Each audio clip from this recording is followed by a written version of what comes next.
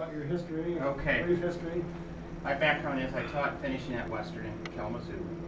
And I've done a lot of stuff with automotive where we did the walnut, or actually burl dashboards for Mercedes and also for Buick. And I had to go to Germany to transfer the plant. There's on Seven Mile Alpine, it's called Behr, B-E-H-R, near the, there's a Buick dealership, on the corner of Alpine and Ann. There's a plant next to it. So we transferred that. Finishing is critical and knowing what your materials is and what are you trying to do. There's no one perfect finish Right. okay? If you're gonna do stuff for automotive, use a polyester, that's what they put on uh, Steinway pianos. But if you're gonna have it for other type of thing, uh, polyurethane people use, and a lot of people use a pre-catalyzed or a catalyzed. There's actually three lacquers. So, but I wanna open it up, if there's any questions on it, we can move wherever direction that you might have. What are you trying to finish and what are you trying to do? Um, preferred is sprayed, Let's know. say, uh, let's say you had a, You've got, you're gonna have to have a filler on this one, because you've got MDF. right, so you got Medium end denser grain. seal Yep, you End gotta grain, seal it. so how would you go about, You definitely have to have a really good sealer. That one I would probably, if you're doing pre-catalyzed lacquer, I'd have two coats of sealer before I go ahead and put a, you What can put a sealer? coat paint. It's a lacquer sealer. okay, It's a lacquer sealer. Polyurethane doesn't have a sealer, it's itself, you just Right. dilute it. The poly, uh, uh, the actual lacquer stuff, two coats on anything that's porous, particle board is one of the worst to finish. A lot of people will put aviation paint, which is really expensive to cover up the pores. How do Howard you Miller keep- does it. the, That's, key is, is sanding. Make sure it's all sanded, your seams are level and flush. If you have to put a filler in, there's a paste filler with regards to it. A variety of stuff, and then re-sand it. It's almost like an auto body. Yeah. When you see the auto body, they're putting, and I've used actually, uh, uh, actually Bondo on some things, some of my wood joints. I did an eighteenth century harpsichord, and there's certain lock joints that you have to have as it comes around, because it's eight foot. And you get some blemishes, and Bondo was one of the things, but I, I, I don't recommend it, because it's like cars, it can be one of those things, but the sealing on that, you probably got two coats, maybe three coats of sealer. Every coat, whatever finish you are doing, sand between coats, called Absolutely. scuff sand. If it's polyurethane, two eighty grit. Yep. If it's lacquer, three twenty. There's a thicker fill property on the polyurethane, so you can have a more coarse abrasive. Mm-hmm. Lacquer is thinner, it's more of a quick evaporation on that, so you have a thinner thing you can cut through. And that's one thing is, is you're gonna seal this, and a lot of people might say, you're not gonna put two coats of sealer. It comes in colors, but also typically it's a clear. And then you go to a opaque finish, you know, you want an orange, purple, green, whatever, and put your coats on, but the key thing is, is the prepping. Just like your cars, everybody has to have them primed, and what do they after the prime? They get them scuff sanded. That's to make sure there's tooth to hang the paint, hang the whatever you want, so that it doesn't peel off. A couple years ago, in the early nineties, you probably saw GM, Ford, Chrysler had a recall, and there were certain pickup trucks, certain blue, there was a black, there was another color.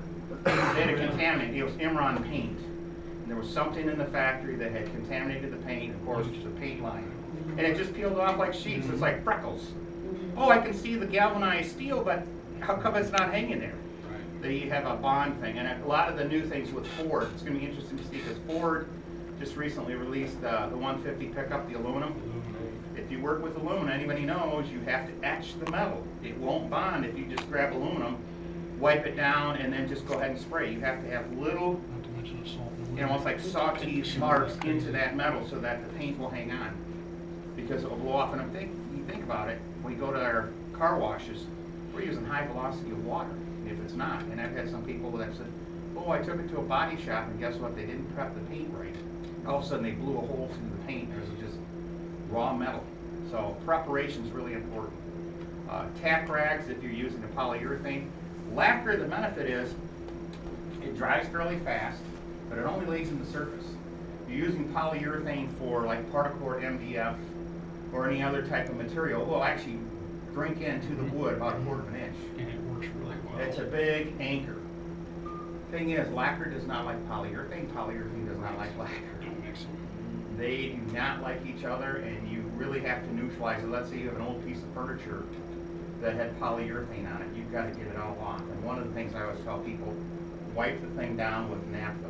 But naphtha is one of those key things that's used in the dry cleaner for getting stains out. But what is naphtha? It's lighter fluid. You don't wanna burn your house down, so you get a Jif jar, you get something that when you're done with the rag, it gets in, you seal the top on, and then you put it outside. But I use naphtha for a lot of stuff.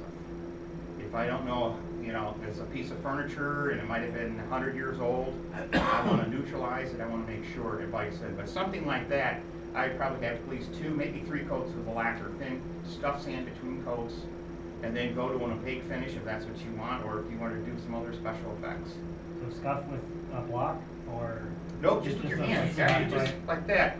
What it is, and people don't realize it, whenever you finish raw material, especially wood, as soon as it gets its first contact with some type of liquid, the hairs of the fibers wanna stick up. Yep. And you wanna mow the lawn and knock it off. And that's the key thing. In the first coat too, depending on how the wood's stored, be it plywood, particle board, or regular hardwoods or, or, or softwoods, it reacts differently because it's been dried out. And over here, it's nice and glossy. Over here, it's dull and there's fibers sticking up. That's why I'm gonna scuff sand it. And it's just, it's not biting in, because think about it, if you're staining something, you go in there, you're gonna rip that stain right off. You don't wanna do that. You wanna keep whatever coloration you got and lightly scuff sand it. After you scuff sand it, you can dust it off. Well, the fortunate thing with lacquer, it will melt itself. All coats become one coat. Mm-hmm. Polyurethane, every coat is an individual. There's no two coats alike. If you burn through one coat to the next, you'll have a ring. The only thing you can do to correct that, put another coat on. So it's, and the benefit is, you can use polyurethane on the floor, but it takes twenty-four hours to dry. Mhm. Yeah, you can buy the cheap Minwax that's four to six hours will set up, but that's just a thin body material that has a lot of thinner in it. To sell it, oh yeah, you can get it, you know, and you recoat, but anytime I do polyurethane, twenty-four hours. Any oil stains, if you're gonna stain it some fancy wood grain, overnight. One of the key things I do, if you're gonna really, really make it look right, and it's, let's say, a wood grain, let's say it's rosewood or some type of grain that's really expensive, I always use, uh, my simple trick to pop the grain is Watco Danish Oil Natural. Watco will go in and will give it iridescent, I'll have people get a walnut, they go, oh my God, my walnut board doesn't look like you and it's cut right on the same slab of the tree. How come yours has 3D and I don't have that? The Watco Danish Oil, but again, it's an extra step, it's overnight drying, but boy, it's worth the value. What do you think about Sure. why, the Danish oil versus boiled linseed oil? Well, boiled linseed oil is nothing but the main ingredient for paint. It does okay. I, I, I have a harder time to dry out the boiled linseed oil. Yep. Uh, but I still, if, if I do not get the drying effect of the Watco or the boiled, I'll quickly give a slight bath of naphtha to accelerate and actually cause it to dry off. Because So the key thing is, is you don't want the oil still wet when you're putting a film coat Right, exactly. You You want generally, it peeling off like, uh, on how much- yes. saran wrap. Saran wrap is a really, you know, people, oh, I, I did that five minutes ago. Well, guess what? You're gonna have a real hard time. So I've never used the Danish oil. Does that darken the wood like boiled linseed? It gives a little bit, it, it's the equivalent of boiled linseed oil. Okay. If you have boiled linseed oil, you can get by. They call it sometimes wood oil B, Yep.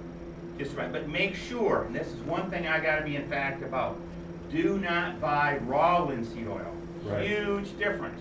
yep. Mhm. Anybody know what raw linseed oil does, and why is it used? Raw linseed oil, raw linseed oil, I feel like a Monday, can't get the mouth in, will never dry. It will always be wet and gummy. In the industry, they need it specifically for the steel industry, because you see those spools of steels going down the road. They want it so that, one, it's a lubricant for the stamping press. Mhm. But once they got the shell of the car built, they run it through a bath to neutralize that raw linseed oil. But don't introduce that to your shop by grabbing, oh, I bought raw linseed oil. Make sure it's wood, uh, if you have boiled linseed oil, go ahead and use it. The Watco I use for a lot of my repairs and touch-ups and things on that sort, and it does a really, really good job. I've been using that since seventy-nine, and it's one of those things that, boy, if you wanna do a, a really spectacular, if it's got grain that you really wanna show the grain, instead of an opaque, meaning one color, I want red or I want purple or whatever. But, uh, oil is, is the main ingredient for. It's always that creamy stuff before all of a sudden your pigments start mixing in, you know, oh, okay, it's yellow, oh, it's orange. so. So just wipe on the Danish oil, leave it overnight. Wipe it on and then wipe off, I let it drink in about two or three minutes and just wipe off the excess. wipe it off. Just so it's not gummy or stuff. And then the next morning or whenever it is, check it to see that it's pretty well dry. If it's not, then I'll just actually put a little bit of naphtha and just wipe it down. Naphtha is a wonderful, wonderful, uh, quick check. If you think your product is ready to get into the finishing, wipe it down with naphtha. It will show any defects, any nicks, scratches. You want to make sure, what are you doing with a lot of clear coats? You're magnifying whatever flaws are on that table. You've got a magnifying glass on. So you do not want to have that happen. You want to make sure, I mean, if you're buying a Gibson guitar, it better be polished, that it's, it's reflecting like, like a floodlight back at you. And this German company that we did the dashboards, that was their main thing, a lot of their equipment came from Gibson. And the, the big thing is, is you're polishing any flaw, and you're magnifying it that much more. So the naphtha will quickly give you a quick read as to what the wood looks like. Oh, there's a scratch here. Oh, guess what? I got a glue spot. I had glued that up and put a little thumbprint. You know, any glue will not absorb any stain or any coloration. It's gonna give a, a, a flaw. You've gotta make sure we neutralize it. So it's a quick check and it will not corrupt the surface of the wood or whatever you're working with. It basically will say, this is what the film coat will look like. Am I ready? Because if you've ever done any finishing and you're staining something, you go, oh shoot, there's a flaw here. And you get out the sandpaper and you start sanding. And all of a sudden that stain gets gummed up. And now you got an irregular stain pattern. And a lot of the industries, they'll do a shade stain with a spray. What, uh, the naphtha, what's the difference between using that versus warm water? You ever just, because I've raised the, Well, if you're doing water base, if you're doing water base, you're gonna pre-grain raise it, because a lot of the water grains, or Yeah. water stains have an agent, which you wanna, and again, you don't use regular water, you use distilled water. Because regular tap water have minerals in it, and you can get blue stains or blue marks, and all of a sudden, what happened here? It's speckled over here. So that's a key thing, yeah, if you're doing any water base, make sure you're using distilled water, pre-grain raise it the night before, then you have to scuff sand it. Blow it off if you have a compressor, or run it down with a tack rag, or, you know, just make sure that the fibers doesn't have any gravel or any dust that might make it a little bit, because what you're trying to do is you're not, you're not trying to obscure the grain, you're trying to reflect the grain to give it its detail, if that's what you're trying to do if it's a wood grain. If it's paint, you still don't wanna have it where you got some cosmetic flaw, because you're gonna be magnifying it by the fact that the paint will even transfer, oh, there's a knot there, you didn't fill that in. So it's a really critical thing to take your time and prep. A lot of people, when I get in, for my background at Western, when I taught a finishing class, six hours a week for fifteen weeks. And you have to make twenty-four panels. You have to do all kinds of special effects, from fly specking to glazing to whatever. It could be automotive, we do wrinkle finish. Basically, you're baking the part, and you wrinkle it, or it might have the peen finish. Or flocked, the old fuzzy stuff, the old coloring books, where it feels like mm-hmm. velvet, we would do that, flocking and that. But the key thing about finishing is, don't rush it. It's a detail upon itself. What makes or breaks is the final thing, the finish. You can do really good craftsman of the cabinet, but if it's not finished well, garbage in is garbage out. Question on the MDF, and Matt was asking about it, on the seams, and every one of us here has seen it, you'll paint something, looks perfectly good for a month, and six months later, you can see every seam in that cabinet.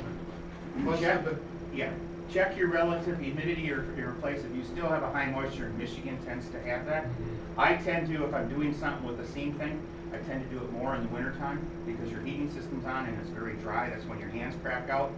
I tend to avoid it in the summer because I have people turn around and they dump furniture off on me in the summertime. I go, I don't refinish in the summer. Because relative humidity is a pain, especially water-based and spirit-based. I use a lot of spirit base. People go, that's not environmentally friendly, but I'm looking for durability and I'm also looking for that antique that's 80, 100 years old. That's how they did it. These water bases, when you have the high humidity day, that's moisture out there that you cannot regulate. Your, your curing time, it's actually uh, di- dissolving the actual viscosity of the material. So I still stay with spirit base, but the problem is with high humid days, you can't see it, but it's in the atmosphere. And if you spray finish, you don't have as much on a seal coat if you have to be spraying with lacquer or polyurethane. Polyurethane is just diluted. I call it a wash coat. You may be forty percent thinner to about sixty percent polyurethane my first coat. The key thing is, I don't have a huge coat of polyurethane, and I have a lot of hairs that wanna stick up. Well, the first time I scuff sanded, I gotta knock that off, and if it's really coated in a heavy goo, almost like molasses, it's hard to sand that out, plus it will show up as kind of a flaw, like an oozing sore or knot that's oozing juice out of it, you don't wanna have that happen. And the thing is, is making sure we're not trapping the moisture, the relative humidity that's around here. When you get that film coat, it hits the surface, if it's a real high humid day, it looked clear and all of a sudden it goes foggy, and it doesn't show the detail. It's got a haze, and the only thing is, is you've gotta add a, actually a butylate into the thing, a retarder into your mixture to counteract that, but it actually weakens your finish. And I have it where I said, I don't refinish in the summertime, I just tell them, hey, you know how hot and humid it is? It's like Florida, we're not doing finishing today. The only way you can counteract that, but it's expensive, have an air conditioned spray booth. But that's counterproductive, because what do you have? A fan blowing all the air out of the room, And a fan blowing air in. yeah, so it's crazy, yeah, because of the air conditioning. Do you use desiccant canisters on your spray or?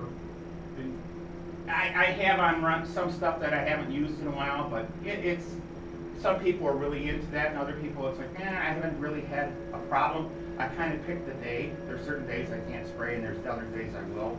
I've had people bitch at me over the phone saying, I need that table, I said, I told you, winter time is best in Michigan. Or, you know, fall or spring, but not in the summer. I don't like doing any type of spirit base and things on that sort, even water based. Because water base is harder to regulate because it's water to begin with, and then you've got water floating around you can't see. And the key thing is, is once you spray, you get this fog effect. We've all had a class in science, probably third or fourth grade, two clear liquids, you put them together and all of a sudden it causes a precipitate, Mhm. like a foggy morning. Well, that's what you're doing, and then you can't hardly get that fog out of there. Other than if you have to spray a small butylate over it to soften the surface, let the moisture out, because it's trapped inside. It's between the, the surface of the wood or the first coat, or the first coat to the second coat, third. And you can magnify it, and then you could muddy the whole thing. The only thing you can do is strip it and redo it again. So are you using low pressure when you're shooting Yeah. water-based lacquers? HVLP, yeah. Yeah. Uh, what, do watch out with the water-based HVLP, it tends to pick most of the guns quicker. I was gonna ask Yes, you one other thing too. Some of my I know the stuff's set up right. Is that too much moisture even for the water base maybe getting through? Yeah. And you gotta clean your gun, and the other thing is, if you're doing water base, one thing I, I can't say enough, make sure you get a wet rag. If you're gonna take a fifteen-minute break, put the gun down and put the wet rag over the nozzle. Your little air fittings and everything else, because what's gonna happen with water-based, it's gonna actually dry out, and it's gonna write down the fluid tube and then everything else, and you gotta clean the gun. Now, on That's your- one, one of the hassles. with On your gun, your sprayer head, three, five, whole millimeter size? anything? I'm usually doing two. I'm using an Earlex. Um, yeah, Earlex, uh, it's kinda, they came out of left field for years. Which, which Are you using? It's the fifty-five hundred now, I think it's about six thousand or something, it's about three hundred dollars. Nice, yeah, that's the one that Woodcraft. It's the blue, yeah, it's the woodcraft Yeah. one. It- And the funny thing before that, I have a three hundred and fifty a gun, and I have three of the DeVilbiss, the expensive ones, one came in from England. I was doing an eighteenth century harpsichord. I made it, I wanted it authentic, the original one's in Scotland, and I saw the one in Scotland, and I wanted to make sure. And I used, uh, actually, it's kind of funny, it seemed everybody said, you're making this for Liberace, it's salmon pink, but harpsichords are gaudy. They didn't have floodlights in the sixteen and seventeen hundreds, so they painted outrageous colors. Oh, there it is, there it is, that's the color. And it's all gold leaf. And the big thing was, I did, I did my first two coats, I did it by brush, and then I hand sanded. And I actually tinted the paint to the color of what I'm trying to go. Then I switched over and did a spray coat. But I made sure each coat, I did the proper scuff sanding. And some people just wanna breeze right through that. Mhm. You can't. That one thing too in your shop is have proper lighting. You now see the, well, Counting Cars and some of the other shows where they have the lights all over the place, you drive a car in, they got lights all over the place. That's to make sure you don't have a blind spot. If you can get daylight too, can't say enough for daylight. Daylight Because you get a color shift, get a Macbeth light, so you can compare it to whatever, because we had to do it with the dashboard, we had a certain prescribed color that GM accepted. under the Macbeth light, this is acceptable, this is not. And it was a walnut burl dashboard, and the dashboard had three pieces. If you screwed up the glove box, the whole thing was thrown away, because it was all match pattern. Hmm. And to get the color right, we had to bleach the walnut, let it dry, neutralize it with vinegar, because that's one of the key things. You want to get that residue of bleach, because you know how you smell your hand, the whole day that bleach is on your hand? Those are the little crystals from the bleach. We had to neutralize it, let it dry for about a week, and then introduce a sap stain and a hardwood stain, and then start building the polyester film coat. But we also had to have a lock-in for UV inhibitor, ultraviolet rays. So that's another prescribed thing. Is it gonna be a lot near sunlight? Do you not wanna have a color shift? And what's the warranty on the brand name that you're working with? Most of my clear finishes, I'm using Valspar. And a lot of people don't know that. Valspar was a little company in the eighties and nineties out of Minnesota. Came to Grand Rapids and gobbled the big giant, uh, Guardsman Chemical. They got the recipes for all the furniture stuff. And if you see Valspar now, I saw a lot of the shows, you'll see Valspar on their jackets or Gas Monkey, the guys got Valspar t-shirts and stuff like that. The recipes came from Grand Rapids. So the little guppy swallowed the whale to get the recipes because of the furniture industry. Now they jumped to automotive. you know. Yeah, one more on wood. When you go with the ironwoods and rosewoods and shellacks, I keep having oil leach out. What I actually would do is give a good bath, and if you're using like a lacquer, I would give a light bath of acetone, real small, so you can actually pull out the oils and dry it out. Because yes, that bleeding, you don't want that bleeding effect, because it looks like a flaw or you drop something on it when you were in the finishing process. Acetone, but watch out, acetone is the solvent to lacquer. So you can only do it in raw wood tissue, but if you're on your first coat of lacquer and you whip out the acetone, you're stripping. Now you've compounded, you know, compounded it. And I also tell people, when you finish and you have a run, drip, or error, let it dry. Don't worry about it. First thing people want to do is get a rag or use their thumb. Let it cure out and scrape it with, just, I use the um, utility knife. Use that as a scraper, lop off the top of it. You're knocking off the volcano top, you're gonna have it just level. Then scuff sand and put another coat, you're okay. Because I've had students that, you've been spraying for how many years, since nineteen seventy-one? You got a couple runs, drips, I said, I don't mind. I said, that was done with shellac. Shellac, shellac is real thin body. It's like water. And I had an open heart doctor who was doing a, a old clock, and he wanted to have it done in shellac. I said, the final coat, we're gonna do it in pre-catalyzed lacquer. And lock it in, because shellac, if it gets spilled with alcohol or something like that, denatured alcohol, it will dissolve that. You don't want it dissolving or powdering out on you. So That's a key thing that people, but yes, you do that with a lot of oily woods. I noticed that, I'm sorry. Go. Uh, I finished, I did just shellac, um, sort of a French polish, but not quite. But between winter and summer, I can, I can see it, Yep. kind of shrink and come back, like you get, Yeah. it gets kind of bumpy in the, uh, I think it's in the summer, it gets, I, There can be I a don't remember, but whatever it is, it's, one time it's perfectly smooth, and then Yep. the next season. Oh, it's it irritating, like your skin can be, you know, really coarse from dried out thing. The one thing I wanna say on shellac, shellac is never gonna go out a season. It's used everywhere. Real good insulator motors, they use shellac. If you have a pill that never catches your throat, guess what? It's coated in shellac. Time magazine, why does Time magazine or any of the magazines don't fade? You put a newspaper outside, ultraviolet rays, it fades, doesn't it? Shellac is really compatible. Shellac can be under polyurethane, it can be under lacquer. It's kind of a bridge to anything. Yeah, it, it, it, it's such a flexibility. So, and the benefit of shellac is it's got that versatility. The only downside of shellac is it has a short shelf life. That's why a lot of people buy the granule crystals. And they'll put it in overnight, the flakes, and they'll let it dissolve, and then you decay in a pit. You make what you need, because the key thing, and I had this happen as a high school student, I was doing a thing for competition. And so, so there's some shellac over there, and I knew shellac was good, but I didn't realize, I didn't check the label. Shellac is probably only good for sixty to ninety days at the.